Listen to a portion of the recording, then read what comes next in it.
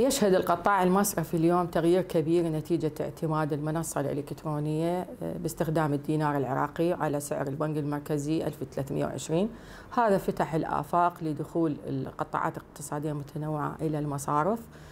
آه، أيضا القرار الحكومي باعتماد أجهزة الدفع الإلكتروني عزز من الدينار العراقي ومن استخدام البطاقات المنتشرة لدى شريحة كبيرة من الموظفين القطاع الخاص. هذا راح يؤدي إلى تطور الخدمات المصرفية والاعتماد على الخدمات المصرفية الحديثة خدمات الدفع الإلكتروني بالمرحلة المقبلة.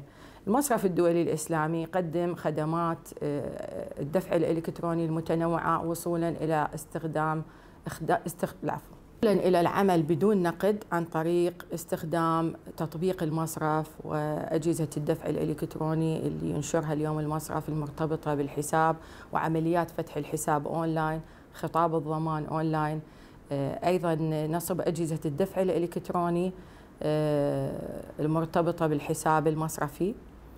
تصميم تطبيقات مجانا لأصحاب الأعمال من أجل التسوق الإلكتروني وتوسعة آه، انتشار المنتجات العراقية.